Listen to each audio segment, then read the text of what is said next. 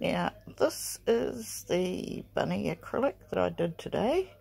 As you can see by the little pokey out bits, I haven't um, put the uh, sand around the outside of it.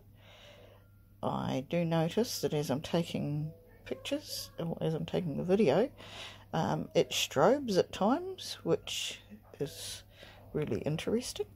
Um, you can't actually see it strobing, but it's strobing with the thing.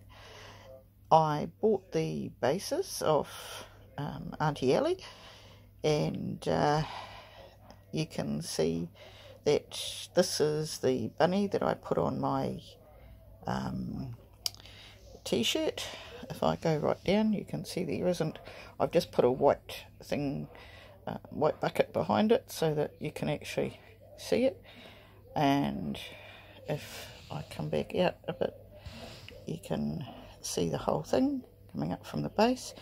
This base has got a remote and it changes colour. So I am really happy with that and um, now I know I've made my base a little bit big so I'll be able to change that somewhat and do it. I, I really love the size.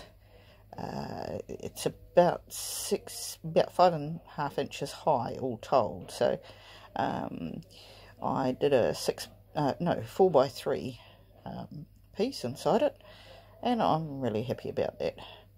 So I thought I would put this up for you to have a look at. Thank you for watching.